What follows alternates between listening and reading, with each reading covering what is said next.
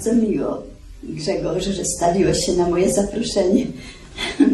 No, siadaj, proszę. A, co za kwiaty. Storczyki. Pamiętałeś. To ładnie. To ładnie z twojej strony. Zawsze lubiłaś storczyki. Lubiłam i lubię. Pod tym względem mam stałe upodobania. Jak umrę też. Żadnych chryzantem, kali, tylko storczyki. Tak jak dziś. Pamiętaj. To już raczej nie do mnie, Nelly. Do ciebie, do ciebie. Wszystkich przeżyjesz. Całe życie dbałeś o zdrowie. Pijesz ciągle nerwosan? Czasami. No, proszę. Mm. Filiżankę herbaty? Jeśli łaska. A kieliszeczek? Z przyjemnością. Chwała ci, panie. Kieliszki są świeżej daty. Ale podstawki powinieneś pamiętać. Zaiste. Jeszcze ze starego mieszkania. Upiekłam biszkopt. O, taki jak lubisz. Wzruszasz mnie, Nelly. No, więc mów. Nie jesteś już w wojsku? Od paru lat. Przestałeś być pułkownikiem. O nie. Przeszedłem po prostu w stan spoczynku. Nareszcie. Generałem i tak byś nie został. Dopiero teraz naprawdę mi się podobasz. Trochę późno, Nelly. Łagodne oczy. Jeszcze całkiem, całkiem ciepłe. Bez tych złych błysków, które zawsze doprowadzały mnie do szału. Siwa czupryna. Ależ ty masz tych włosów. O, nie jeden młodzian mógłby ci pozazdrościć. Cera zdrowa, czerstwa, nie apoplektyczna, broń Boże. Prawdziwie zdrowa. Krew i słońce. Ciągle tak dużo maszerujesz? Cóż robić, Nelly? Pewnie. Tyle lat w piechocie. Trudno się dziwić. Marszałek też dużo chodził. A to przecież twój wzór. I dał wyszedł ci na zdrowie. Tym razem. Masz rację. Nie należy się poddawać. O, w moim wieku, Nelly. Ej, nie zawracaj głowy. W końcu ile ty masz lat? 94 rocznik, moja pani. No, właśnie. Raz, to, to, to dopiero 76. I to niecałe. Bo jesteś przecież z września. To mało? O, znałam starszych, mój chłopcze. Choćby Sergiusz. Jest dużo starszy od ciebie. Umarł przed trzema laty. Co ty powiesz? Nic nie wiedziałam, mój Boże. Ach, cóż to był za mężczyzna? Był. 32 aleja, jeżeli pragniesz go odwiedzić. Nie lubiłeś go. To prawda. Byłeś o niego zazdrosny. Możliwe. Zupełnie niepotrzebnie. Nie był moim kochankiem. Ale go uchodziłaś. Ze względu na jego żonę. Miała pyszczek jak rozłupany orzech. I bez przerwy się gorszyła, biedactwo. Sergiuszu, ach, Sergiuszu, o, koszmarna purchawka. Spotkałem ją niedawno. Powinna była umrzeć pół wieku temu. Już przed pierwszą wojną wyglądała, jakby ją na siłę wyciągnięto z rodzinnego grobu. O, przesadzasz. Jak zwykle. A, będzie żyła sto lat, przekonasz się. No, ale do rzeczy. Ciekaw jesteś zapewne, dlaczego akurat dziś, po tylu latach, zapragnęłam twojego widoku. Pewien rodzaj ciekawości mam już za sobą, Nelly. Ejże. Więc po co tu przyszedłeś? Miałem powody. Ale słucham cię.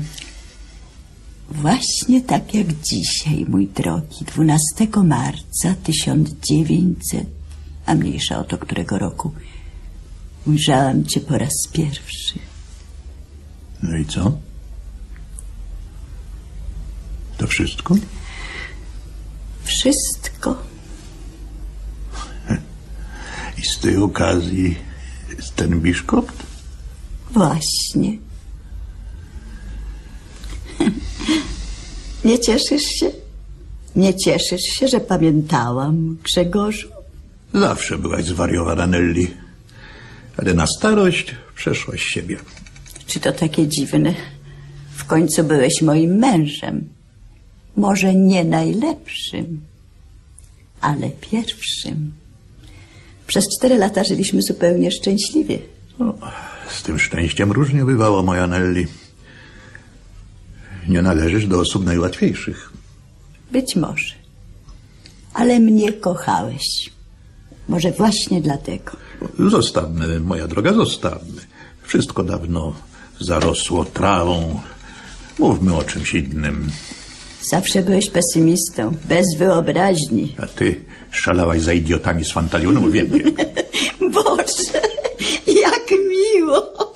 Jeszcze trochę i będzie awantura. To cudowne. Czuję, że nie jest z nami tak źle, Grzegorzu. Powiedz mi, kochanie, czy czasem nie żałujesz, że nie mieliśmy dzieci? Bo mnie się zdaje, że gdybym miała z tobą dziecko, wszystko byłoby inaczej. To ci się tylko zdaje, Nelly. Nie jesteś typem matki. Twoja łatwość sformułowań zawsze wprawia mnie w osłupienie. Herbaty? Dziękuję. Pod wieczór unikam plynów. Nie uduczyłeś się, widzę. Czego? No, ciągle bębnisz. To nerwowe. No odkąd cię znam, zawsze bębniłeś w stół. Bo zawsze byłem nerwowy, Nelly. Masz silne nerwy. Może? Przestań, no wiesz przecież, że to mnie drażni. Przepraszam, zapomniałem już, że nie będę. Spodziewasz się jeszcze kogoś? Nie jest wykluczone. Powiedz mi, Grzegorzu, dlaczego się nie ożeniłeś? Gdybym wiedział, że będziesz zadawać tyle pytań, najpewniej bym nie przyszedł. Sprawiłam ci przykrość. No skąd? Po prostu nie lubię być przesłuchiwany. To nie jest przesłuchanie. Jestem ciekawa, Grzegorzu. No co ci to da? Chcę wiedzieć, dlaczego nie ożeniłeś się po raz drugi. Ponieważ za pierwszym razem nie byłem szczęśliwy. Czy ci to wystarczy? Nie, Więc co chcesz jeszcze usłyszeć? już nic. Nie będę więcej pytać. Rzeczywiście to nie ma sensu. Chyba się nie obraziłaś. Ależ nie, No, dawniej o byle co się obrażałaś. dawniej. A teraz nie. No, no, no, no, no. Za długo się znamy. E, co tu dużo gadać, uroda urodą, a kawał diablicy to z ciebie był. Na ówczesne czasy. Nie tylko. Ale człowiek kochał. Mój Boże. No w końcu nie ja jeden się w tobie kochałem. Całe szczęście. Tak, wszystko ci mogę wybaczyć. I to, że urządzałaś skandale w kasynie. I to, że musiałem się tłumaczyć przed oficerami mojego pułku. I to, że na manewrach w Wilnie obraziłaś generała. I to, że w euforii wyrzuciłaś przez okna hotelu Bristol swoją koszulkę, krzycząc na całą ulicę Lapcie, chłopcy, który złapie, ten mój. Ależ ty masz pamięć. Wiesz, ja o tym zupełnie zapomniałam. Jednego ci tylko nie wybaczę. Mianowicie, Teodora. wiedziałam.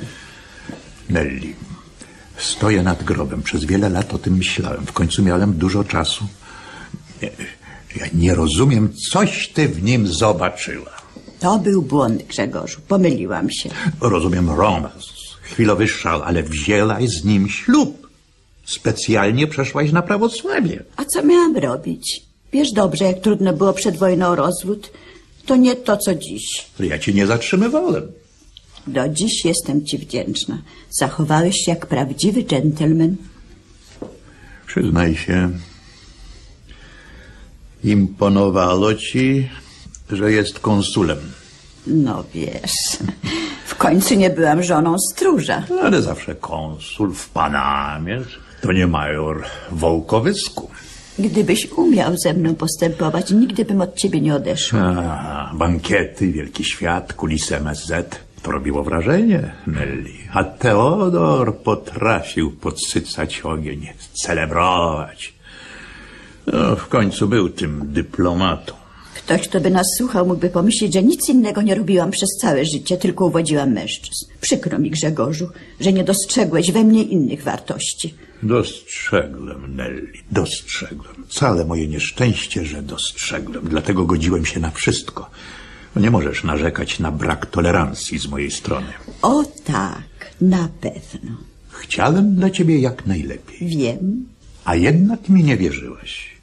Kiedy cię ostrzegałem przed nim, myślałeś, że jestem zazdrosny.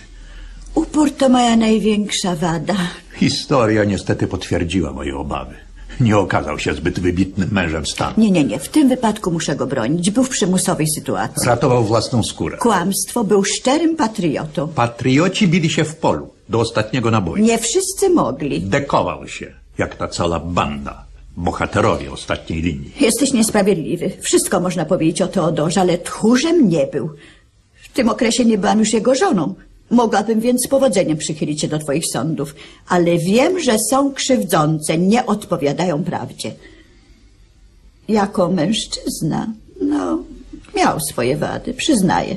Ale trzeba, mój złoty, odróżniać życie prywatne od działalności publicznej. Nie można się tak zacietrzewiać. Widzę, że cię nie przekonam. Nie o to chodzi. Powiedziałam, że go nie bronię jako mężczyzny. No jesteś wyjątkowo pamiętliwy, Grzegorzu. Zupełne przeciwieństwo Sylwestra. On wszystko puszczał w niepamięć. Nie wiem, co on robił, Nelly. Nie znam Sylwestra i nie porównuj mnie z nim. Bardzo cię proszę. Myślę, że mimo wielu różnic przypadlibyście sobie do gustu. Niby dlaczego? Obydwaj nie znosicie Teodora. Oj, przestań bębnić w stół. Już raz cię o to prosiłam.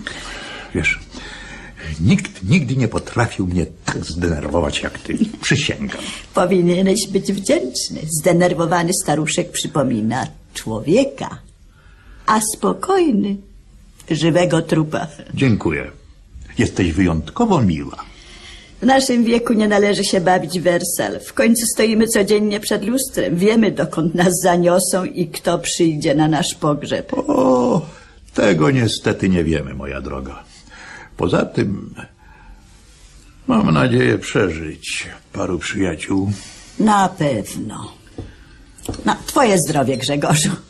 i twoje. Wybacz starej wariatce.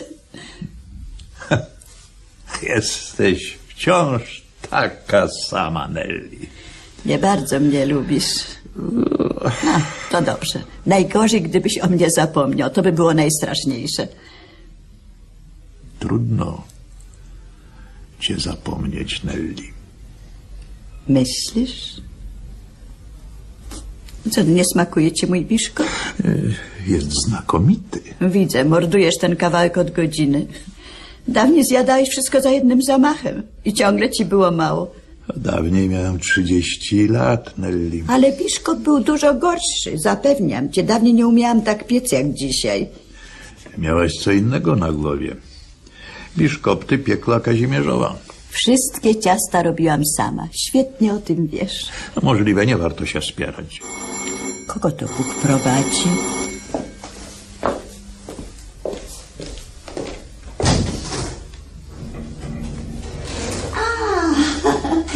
Cóż za niespodzianka. Wejdź, proszę.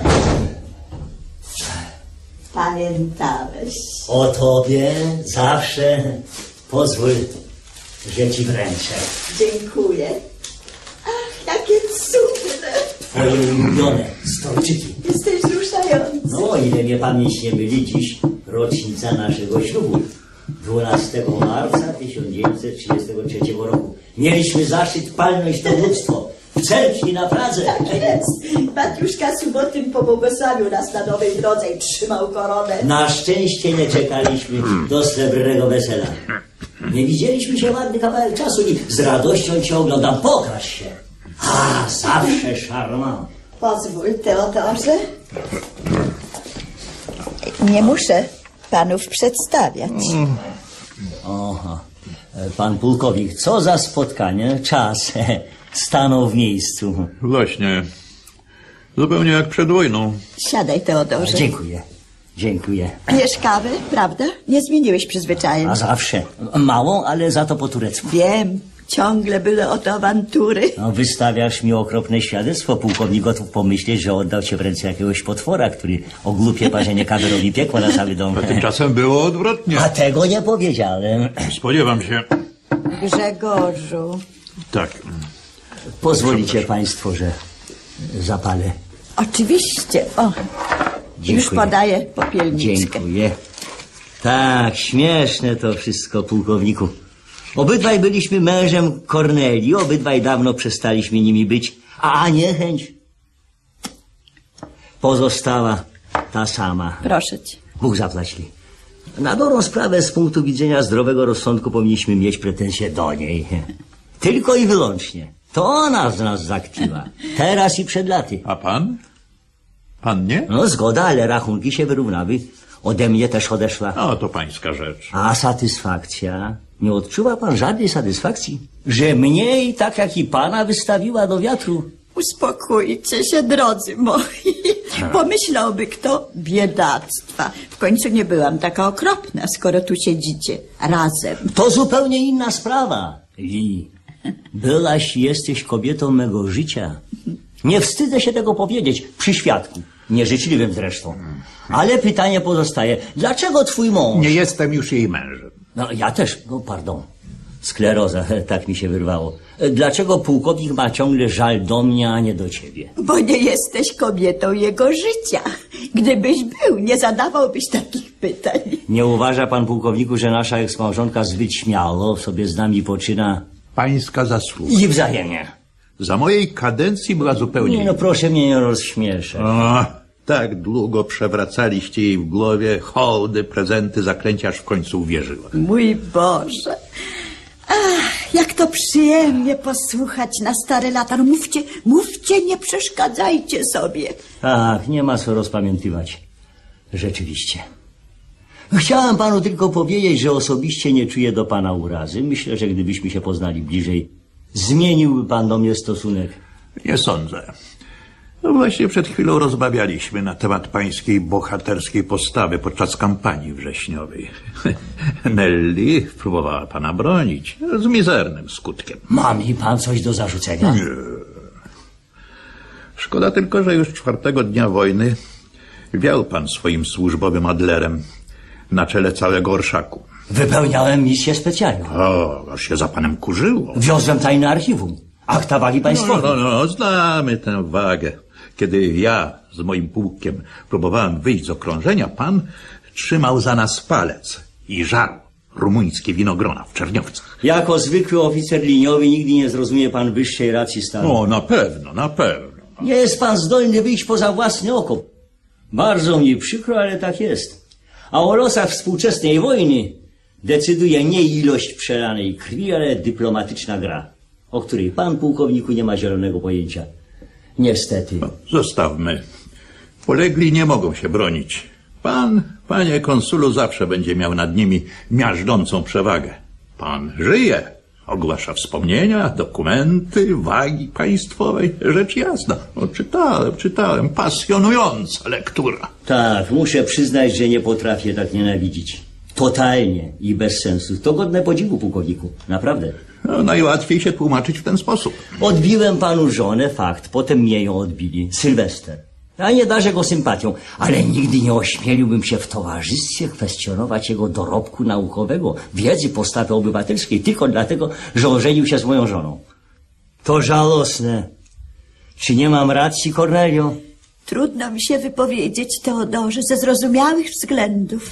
Każdy rogacz sam w sobie jest istotą śmieszną. I nic na to nie poradzimy, pułkowniku. Ale rogacz ziejący nienawiścią do rywala to już postać z operetki. Publiczność ma prawo domagać się bisów. Mówiliśmy, zdaje się, o panu, panie konsulu, a nie o teorii zdrady małżeńskiej. Sprytnie się pan wywinął. Lata dyplomacji nie poszły na marne. Wybaczcie panowie, ale powyższa wymiana zdań nie wnosi nowych elementów do dyskusji. Proponuję skończyć. I wypić zdrowie pani pułkownikowej i pani konsulowej.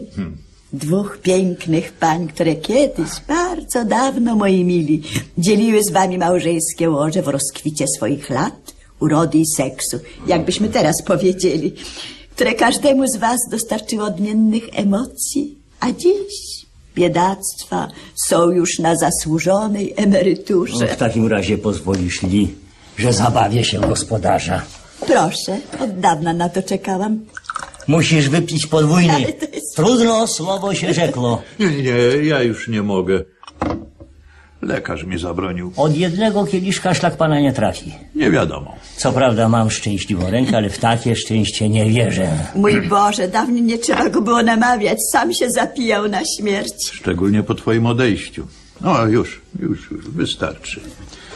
E, nie było to najmądrzejsze, przyznaję. No, no, no, nie zwalaj na mnie, zawsze piłeś jak smok. To był między innymi powód, dla którego zdecydowałam się odejść i wyjść za Teodora. No przecież ja piłem dwa razy więcej od niego. To prawda, miałam dziwne szczęście do pijących. To nieszczęście li, to regula. Inaczej trudno wyjść za mąż. Nalałeś na serwetę, Teodorze, niemożliwie cię ręce trzęsą. A dawno nie byłem pod czaszy w tak wytwornym gronie. No to co, Grzegorzu? Czekamy. Wolałbym ominąć tę kolejkę Nelly. Oj, nie masz pojęcia, jak mnie denerwuje ta twoja starcza abstynencja. Alkohol mi szkodzi. Nie możesz tego zrozumieć. Przesada. Z jednej skrajności w drugą. Albo wódka leje się strumieniami, bachanalie dzień i noc. Kiedy to było, złota moja? albo zioła, bieganie po lekarzach, płukanie nerek, ceregiela, aż trudno wytrzymać.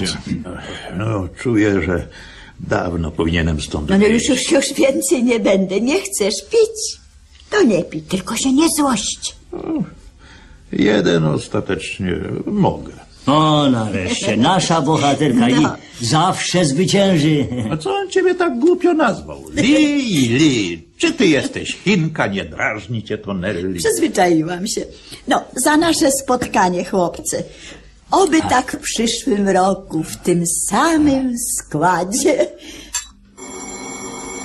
On poczuł wódkę przez drzwi. Przepraszam, muszę otworzyć.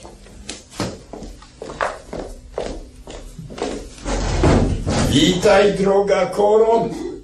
Wybacz to haniebne spóźnienie, ale wyklady się przedłużyły. Kajam się. Mogłeś co prawda zadzwonić, ale nie miałeś tego zwyczaju jako mąż. Śmieszne by było, żeby wymagała tego od ciebie teraz, w stanie kawalerskim. Jestem niepoprawny. Do końca życia się nie nauczę. Ach, co za wspaniałe stolczyki. Rozbroiłeś mnie, Sylwestrze. No, trochę się nabiegałem. Nie można ich nigdzie dostać. No, pośpiesz się, Sylwestrze. Całe życie trzeba na ciebie czekać. Już idę. Dobry wieczór. A, przyszedłem, widzę ostatni. No byłoby dziwne, gdyby pan wszedł pierwszy. Jakaś kolejność obowiązuje. No, was z Teodorem nie muszę przedstawiać, tylko ty, Grzegorzu. Nie miałem przyjemności. Nic dziwnego, byłeś wtedy w flagu. Pozwolisz zatem. Sylwester Herbaczyński, profesor zwyczajny SGGW, członek rzeczywisty pan. Miałam zaszczyt być jego żoną tuż po wyzwoleniu. Grzegorz Karolczyk, pułkownik w stanie spoczynku, kawaler orderów, mój pierwszy mąż z lat wielkiego kryzysu 1929-1933. Bardzo mi miło. Wiele o panu słyszałem. No, prezentacji stało się zadość. Możemy wracać do stołu. Ty, Sylwestrze, wolisz raczej obok Grzegorza, prawda? No, jeżeli mam być szczery, W takim razie bądź łaskaw. Ja, ja już powoli będę uciekał, Li. Dokąd, co cię goni? Dom, żona, dzieci? No, zostawiłem trochę roboty. Boże pan, wspomnienia nie uciekną.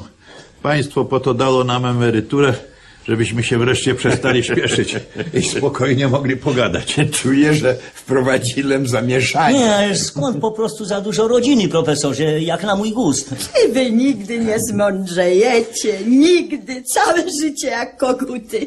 Dawniej jeszcze można było od biedy zrozumieć, ale dziś spójrzcie na mnie, o co tu się bić. Panowie, trochę zastanowienia. No, No, swoją drogą ja nie spodziewałam się takiej zawziętości, szczególnie po tobie, Teodorze. No bądź co bądź konsul i absolutny brak opanowania. No niechże pan siada, Teodorze. Otello w pańskim wieku?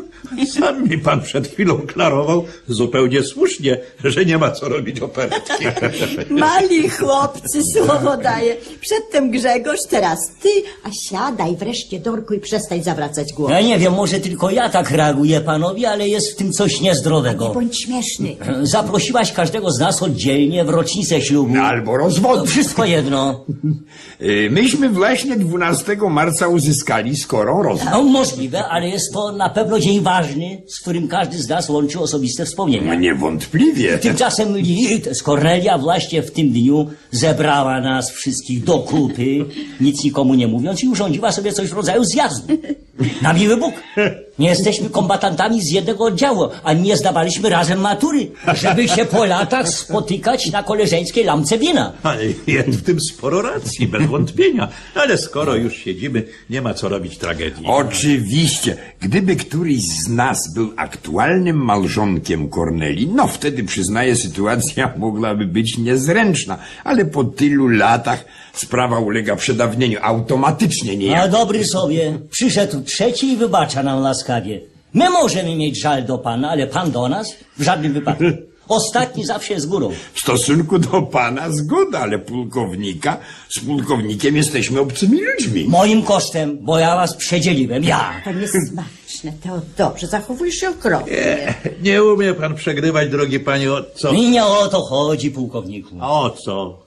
Niby dlaczego pańska sytuacja ma być gorsza od mojej? Nie widzę powodu. Aha, tylko ja umiałem się zachować, a pan histeryzuje jak stara baba. Gorzej. No przepraszam cię, Nelly, zawsze był z niego kawał mięczaka.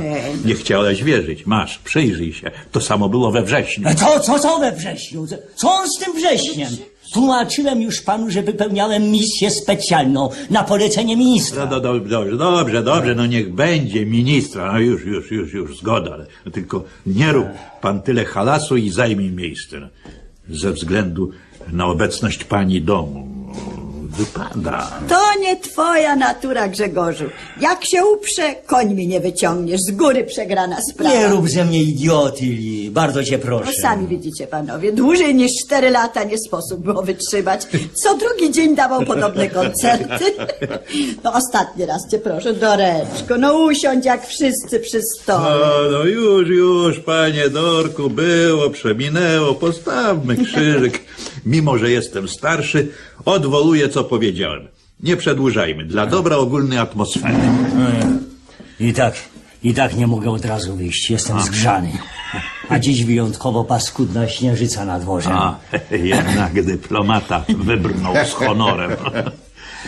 No, muszę sprawiedliwie przyznać, Nelly, że pod jednym względem twój nerwowy eks-małżonek miał rację. Mianowicie? Myślę, że wszystkich nas to w jakiś sposób niemile dotknęło. No wreszcie. No, chodzi oczywiście o datę. No, Zwróciliście uwagę, panowie? 12 marzec. Zawsze ten sam dzień. Albo ślub, albo O, rozwód. właśnie. Wybrałaś dla nas wszystkich ten sam dzień, Nelly. Zbieg okoliczności? A może perfidna? O, o, wreszcie padło właściwe słowo. Teraz chyba rozumiecie, że nikt z nas nie wygrał. Ani pan profesorze, ani ja, ani on. Nikt, nikt. Łudziliśmy się tylko w świętej naszej naiwności, że walczymy, zwyciężamy, jesteśmy kochani. Ale ona wiedziała od początku, od pierwszego dnia znajomości, z góry wiedziała i śmiała się w kulak. Teraz też masz prawo i absolutnie. Posadziłaś trzech starych pryków przy jednym stole, ponumerowałaś, każdy przyniósł storczyki. Cudowny żart, bogi zrywać. a to trzech razy sztuka, Teodorze. Nie, nie, nie wiem, nie wiem, nie jestem taki pewien. Nie, wypijmy lepiej. Panie Dorku, Ty? A lekarz? co tam lekarz? W końcu nie ma się co oszczędzać. O, pan profesorze jeszcze młody, przed emeryturą. A, nie taki znów młody, sześć lat młodszy ode mnie. 906 rocznik. Jak zapamiętał drań. No, chłopcy, nasze kawalerskie, oby nam się. A ja? No. A co ty? Ty idź do kuchni i przygotuj coś do zjedzenia. Nie będziemy ciągle pić pod biszkopt. Zwariować można. Ciągle słodko w gębie. Nie poznaję cię, Grzegorzu. No, no, no, no, już, już, już, babciu, nie No, ma co. no, No, dość kokieterii. Zakrzątnij się kolorondelków. Najlepiej coś gorącego, bo jeżeli mamy serio pić, to musi być solidny podkład. Ale tyle lat się znamy i nigdy, no ja nie jestem przygotowana. A wielka szkoda, jak się zaprasza trzech byłych mężów li, to trzeba coś, nie coś odpisać na straty. Trudno.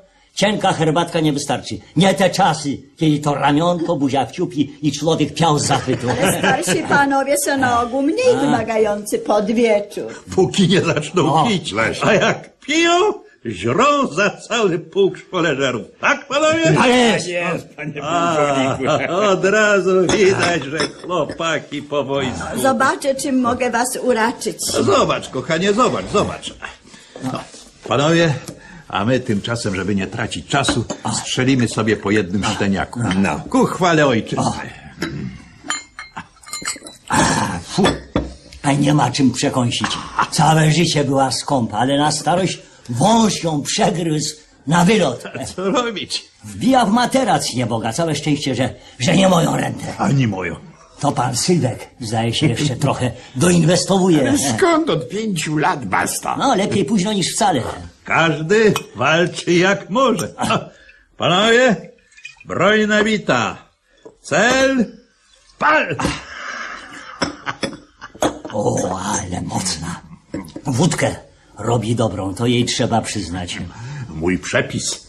Jeszcze z Wołkowyska, kiedy bawiliście się w piasku. No, bez przesady, pułkowniku, tylko sześć lat różnicy. Sześć? No tak.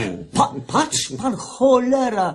W równych odstępach czasu nas sobie dobierała. Sześć, sześć i sześć. A rzeczywiście, nie zwróciłem na to uwagi. Ja też, dopiero profesor mi uprzytomnił. Eee, nic, nie my pierwsi, nie my ostatni. Następny. Ale nie ma prawa. No, ile się orientuję? Pan Sylwek był ostatni, tak? No chyba tak, ale kto to może wiedzieć? No pewnie, no, może mieć kogoś na boku. Jeśli kochanek powiesze słowo honoru. A nie, nie, nie wpadajmy w panikę, wszystko zaraz się wyjaśni. Nie macie przypadkiem drobnych? Potrzebuję pięć złotych, posłaniec. Może ja będę coś miał zaraz. Jest. Służę ci. Dziękuję. A, nie mam zamiaru dokładać do cudzych interesów.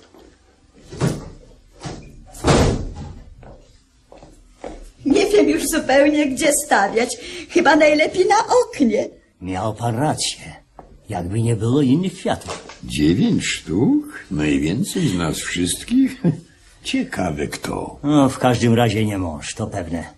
Tylko przyjaciele lubią się tak wysadzać. A jeżeli nie, to co? No nie powiesz mi, że to któryś z nas, li. A jak powiem? E, Mam sklerozę, ale nie do tego stopnia. Nikt z nas nie jest wariatem. No, to masz.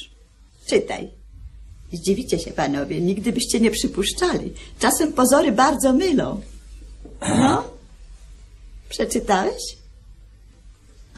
I co? Niech pan da. Od kogo? Ładnieś to sobie wymyśliła. Prawda? No, pokaż im, nie ma się czego wstydzić. Tylko ty mogłaś wpaść na taki pomysł. Tylko ty. Dlaczego ja? Te kwiaty są od niego. Po prostu to on je wysłał z tym bilecikiem. Panowie, no na, na miły Bóg, po co miałbym je wysyłać? Nie wiem, ale wysłałeś, wystarczy przeczytać. No pokaż im, czego się wstydzisz? W końcu nic strasznego, parę gorących słów. Wariatko, sama sobie wysłałaś te kwiaty. W jakim celu? Nie wiem, ale, ale mogę przysiąc, że, że to twoja robota. Chciałaś mnie zniszczyć. W ich oczach. Pokazać, że ciągle jestem twój. Zawsze twój. Nie, moja Li. Skończyło się. Wreszcie się od ciebie uwolnię. Ty z... Ale zaraz... no, Panie no, no, doktorze, za co pan wyprawia? No szalał pan, czy co? co nie. No, Nie. On chciał ją naprawdę wykończyć. Nelly. Nelly. Odezwij się. trzeba ją ułożyć na otomanie. Zaraz, za chwileczkę, niech mi pan pomoże, profesorze. No. O, tak. Tak, tak. Tak, tak. Nelly, słyszysz mnie? No odezwij się.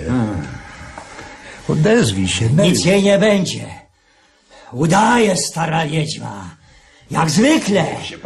Sylwestrze. Żywota kart wszystkich przeżyje. Panowie, gospodyni ma nas wyraźnie dość. Ej, w widzie całości to wszystko ma ręce i nogi. Kwiecie. Wszystkie? Nie czas żałować piwoli, gdy płoną lasy.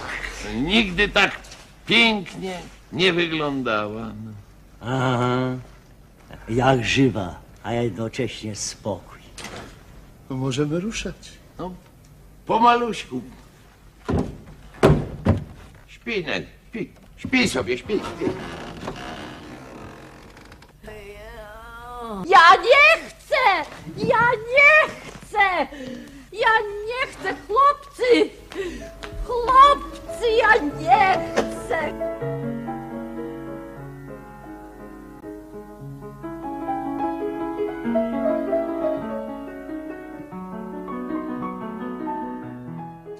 W słuchowisku Jarosława Abramowa-Newerlego pod tytułem Spotkamy się na kolacji wystąpili Barbara Ludwiżanka, Zdzisław Mrożewski, Władysław Hańcza i Henryk Borowski.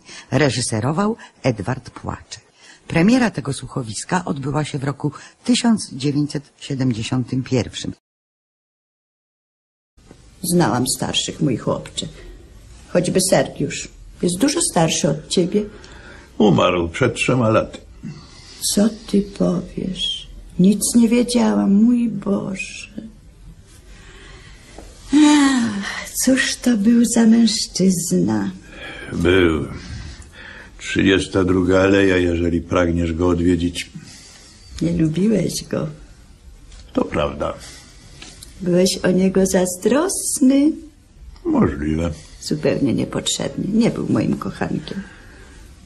Ale go uchodziłaś. Ze względu na jego żonę. Miała pyszczek jak rozłupany orzech. I bez przerwy się gorszyła, biedactwo. Sergiuszu, ach, Sergiuszu, o, koszmarna purchawka. Spotkałem ją niedawno. Powinna była umrzeć pół wieku temu. Już przed pierwszą wojną wyglądała, jakby ją na siłę wyciągnięto z rodzinnego grobu. O, przesadzasz. Jak. A, będzie żyła sto lat, przekonasz się. No, ale do rzeczy. Ciekaw jesteś zapewne, dlaczego akurat dziś, po tylu latach, zapragnęłam twojego widoku. Pewien rodzaj ciekawości mam już za sobą, Nelly. Ejże. Więc po co tu przyszedłeś? Miałem powody. Ale słucham cię. Właśnie tak jak dzisiaj, mój drogi, dwunastego, więc mów. Nie jesteś już w wojsku? Od paru lat. Przestałeś być pułkownikiem. O, nie. Przeszedłem po prostu w stan spoczynku. Nareszcie. Generałem i tak byś nie został. Dopiero teraz naprawdę mi się podobasz. Trochę późno, Nelly. Łagodne oczy. Jeszcze całkiem, całkiem ciepłe. Bez tych złych błysków, które zawsze doprowadzały mnie do szału. Siwa czupryna. Ależ ty masz tych włosów. O, nie jeden młodzian mógłby ci pozazdrościć. Cera zdrowa, czerstwa, nie apoplektyczna, broń Boże. Prawdziwie zdrowa. Krew i słońce. Ciągle tak dużo maszerujesz? Cóż robić, Nelly? Pewnie. Tyle lat w piechocie. Trudno się dziwić. Marszałek też dużo chodził. A to przecież twój wzór. I dał wyszedł ci na zdrowie. Tym razem. Masz rację. Nie należy się poddawać. O, w moim wieku, Nelly. Ej, nie zawracaj głowy. W końcu ile ty masz lat? 94 rocznik, moja pani. No, właśnie. Zaś to, to, to dopiero 76. I to nie niecałe. Bo jesteś przecież z września. To mało? O.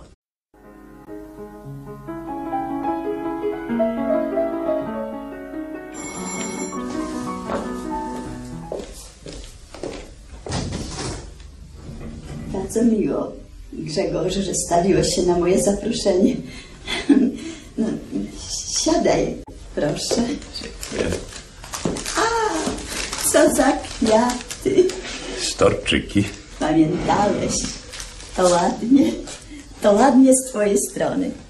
Zawsze lubiłaś storczyki. Lubiłam i lubię. Pod tym względem mam stałe upodobania. Jak umrę też. Żadnych chryzantem, kali, tylko storczyki. Tak jak dziś. Pamiętaj. To już raczej nie do mnie, Nelly. Do ciebie, do ciebie. Wszystkich przeżyjesz. Całe życie dbałeś o zdrowie. Pijesz ciągle nerwosan? Czasami. No, proszę. Mm. Filiżankę herbaty? Jeśli łaska. A kieliszeczek? Z przyjemnością. Chwała ci, panie. Kieliszki są świeżej daty. Ale podstawki powinieneś pamiętać. Zaiste. Jeszcze ze starego mieszkania. Upiekłam biszkopt. O, taki jak lubisz. Wzruszasz mnie, Nelly. No, To ci się tylko zdaje, Nelly. Nie jesteś typem matki. twoja łatwość sformułowań zawsze wprawia mnie w osłupienie. Herbaty? Dziękuję. Pod wieczór unikam plynów. Nie uduczyłeś się, widzę. Czego? No, ciągle bębnisz. To nerwowe. No, odkąd cię znam, zawsze bębniłeś w stół. Bo zawsze byłem nerwowy, Nelly. Masz silne nerwy. Może? Przestań, no wiesz przecież, że to mnie drażni. Przepraszam, zapomniałem już, że nie będę. Spodziewasz się jeszcze kogoś? Nie jest wykluczone. Powiedz mi, Grzegorzu, dlaczego się nie ożeniłeś? Gdybym wiedział, że będziesz zadawać tyle pytań, najpewniej bym nie przyszedł. Sprawiłam ci przykrość. No skąd? Po prostu nie lubię być przesłuchiwany. No to nie jest przesłuchanie. Jestem ciekawa, Grzegorzu. No co ci to da? Chcę wiedzieć, dlaczego nie ożeniłeś się po raz drugi. Ponieważ za pierwszym razem nie byłem szczęśliwy. Czy ci to wystarczy? Nie, Więc co chcesz jeszcze usłyszeć? już nic. Nie będę więcej pytać. Rzeczywiście to nie ma sensu. Chyba się nie obraziłaś. Acz nie, No, dawniej o byle co się obrażałaś. dawniej. A teraz nie. No, no, no, no, no. Za długo się znamy. E, Co tu dużo gadać, uroda urodą, a... Ka- marca 1900, a mniejsza o to którego roku, ujrzałam cię po raz pierwszy. No i co? To wszystko? Wszystko. I z tej okazji ten biszkopt? Właśnie. Nie cieszysz się? Nie cieszysz się, że pamiętałam, Grzegorzu? Zawsze byłaś zwariowana, Nelly. Ale na starość przeszłaś siebie. Czy to takie dziwne? W końcu byłeś moim mężem. Może nie najlepszym, ale pierwszym. Przez cztery lata żyliśmy zupełnie szczęśliwie. No, z tym szczęściem różnie bywało, moja Nelly. Nie należysz do osób najłatwiejszych. Być może. Ale mnie kochałeś. Może właśnie dlatego. Zostawmy, moja droga, zostawmy. Wszystko dawno zarosło trawą. Mówmy o czymś innym. Zawsze byłeś pesymistą, bez wyobraźni. A ty szalałaś za idiotami z fantalionu, wiem. Boże, jak miło. Jeszcze trochę i będzie awantura. To cudowne. Czuję, że nie jest z nami tak źle, Grzegorzu. Powiedz mi, kochanie, czy czasem nie żałujesz, że nie mieliśmy dzieci? Bo mnie się zdaje, że gdybym miała z tobą dziecko, wszystko byłoby inaczej.